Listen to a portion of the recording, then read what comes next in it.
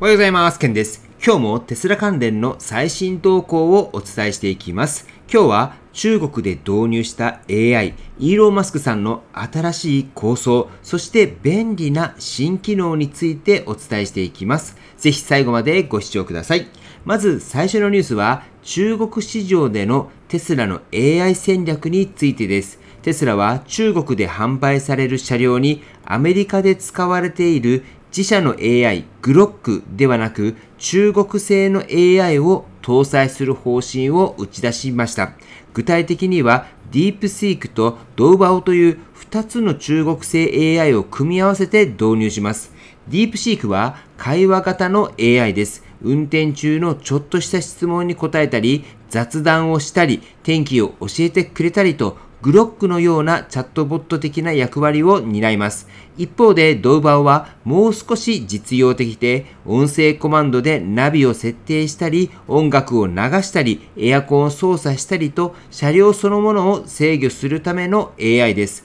この2つを組み合わせて現地のニーズに合わせたカスタマイズが行われているということになります。ではなぜ中国だけ違う AI を使うのかというと理由はシンプルで中国の法律とデータ規制に対応するためです。グロックはアメリカで開発された AI で中国政府の厳しい規制にはそのまま適用できません。そこでバイトダンスなど現地の企業と提携しデータが中国国内で完結する仕組みにしたというわけになります。ちなみにこれらの AI はバイトダンスのクラウド基盤ボルケーノエンジン上で稼働するようになっています。つまりこれはテスラが中国という巨大市場に本気で最適化しに来たという動きになります。外貨が中国市場で AI を展開するのは非常にハードルが高いですが、テスラはその壁を現地 AI を組み込むことでクリアしてきたという印象です。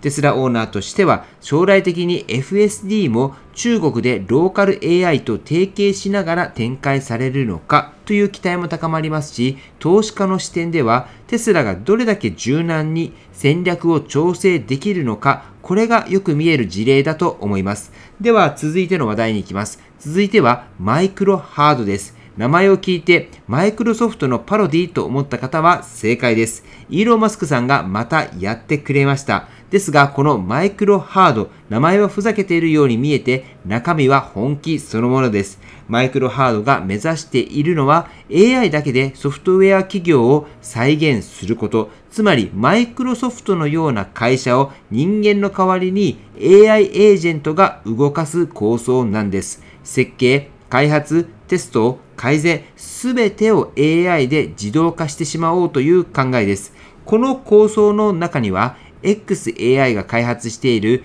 AI のグロックとコロッサス2という超高性能なスーパーコンピューターがあります。このコロッサス2は何百万台もの GPU を積み上げた巨大な AI 処理基盤で、イーロン・マスクさんはここに無数の専門 AI エージェントを走らせる予定です。コードを書く AI、テストする AI、UX をチェックする AI、まるで人間のチームが動いているかのように AI 同士が連携して仮想空間でソフトウェアを開発していくというものになります。ここでポイントになってくるのが、マイクロハードはまだプロダクトがリリースされているわけではないということです。ただし、2025年8月現在、すでに商標登録が申請されていて、構想は確実に動いています。イーロン・マスクさん自身も、マイクロソフトは物理製品を持たない企業だからこそ 100%AI で再現可能だと発言していて、このプロジェクトがただのジョークではないことを強調しています。もしこの構想が実現すれば、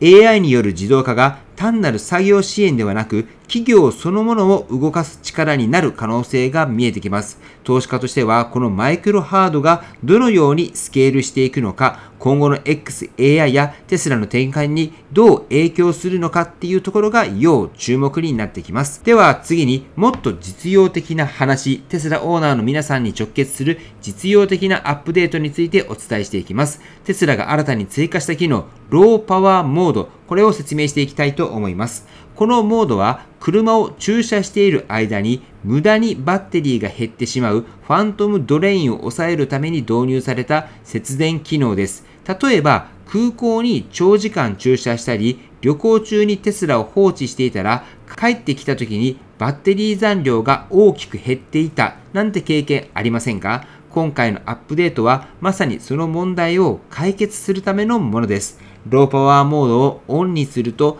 自動的にいくつかの機能がオフになります。具体的には、セントリーモード、サモンスタンバイ、空調のキャンプモード、コンセントの出力、キャビン加熱保護、事前エアコン調整、アクセサリーパワーの維持、つまり車が完全に休眠状態になるイメージです。ただし、充電中であれば一部の機能は使えます。例えばスーパーチャージャーにつないでいる時には空調やキャンプモードなどを引き続き使えるようになっています。このあたりは実用性を考えた柔軟な設計と言えると思います。ちなみにこのローパワーモードが生まれた背景には、あるサイバートラックのオーナーの報告があります。これは先日の YouTube でもお伝えしましたが、彼は空港に数日間車を置いていたところ、バッテリーが予想以上に減っていたことを X で投稿し、それにイーロン・マスクさんが反応したことで今回の機能が開発されました。まさにユーザーの声からすぐに改善されるテスラらしい対応となっています。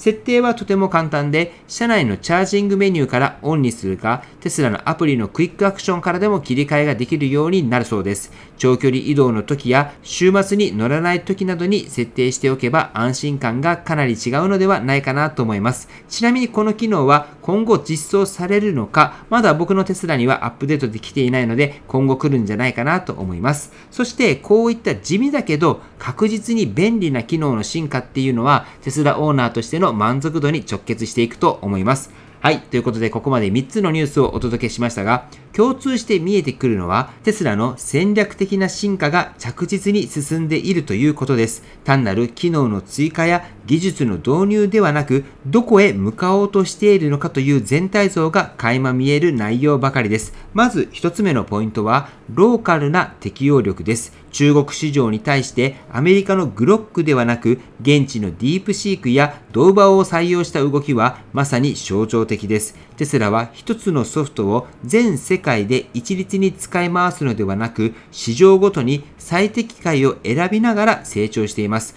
これっていうのはいわばグローバル企業でありながらローカル思考を持つという非常に稀有な戦略です。二つ目は AI 企業としての変貌です。マイクロハードの構想を見れば明らかな通り、テスラは車の会社という枠を超えようとしています。イーロー・マスクさんが目指しているのは、AI が人間の代わりに企業を運営するという世界。つまりテスラや XAI は単にソフトウェアを使う立場からソフトウェアそのものを AI で作る側へとシフトしているということになります。そして3つ目はユーザー主導の改善文化です。ローパワーモードのようにオーナーからのフィードバックが即座にプロダクトに反映される姿勢。これは車というハードウェア製品には珍しいソフトウェア的なアップデート文化です。こうした姿勢がユーザーとの信頼関係を生み、ブランドロイヤリティにつながっているのだと感じます。つまり今回のニュース3本を通じて見えてきたのは、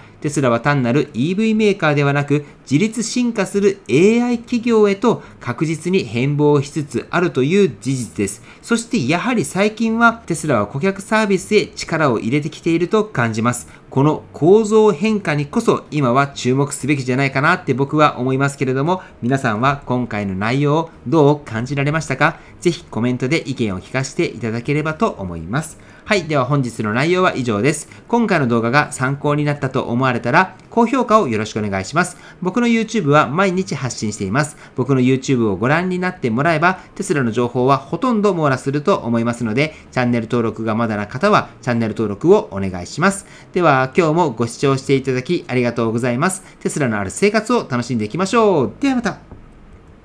追伸です。エコファクトリーのエコウィン。今、全国各地の体育館での導入が進んでいます。体育館のような大空間がエコウィンで快適な空間に変わる。ちょっと想像してみてください。真夏の体育館ってどんなイメージですか？めちゃくちゃ暑くてムワーっとしたイメージないですか？けどエコウィンを入れることで真夏の体育館が快適な空間になるんです。さらに無風です。クーラーのような冷風がないんです。それなのに快適。なので、例えばバドミントンだったり、卓球だったり、ちょっとした風が影響を受けるスポーツに最適な空間になるわけです。つまり工場など無風が好まれる空間においてエコウィンは最適解となります。ということで、今週から全国3カ所でエコウィーンの体感会が行われますので、興味がある方は行かれてみてください。体感の場所などは概要欄に記載しています。参加希望の方は申し込みフォームを概要欄に記載していますので、そちらより申し込みされてください。また、9月の18日に熊本で今年の夏最後の体感会を行うことが決まりました。こちら僕も行きます。ぜひ体感されてみたい方は一緒に行きましょう。熊本の参加希望の方は僕の公式 LINE の方から問い合わせの方よろしくお願いいたします。はい。では本日も最後までご視聴していただきありがとうございます。素敵な一日をお過ごしください。ではまた。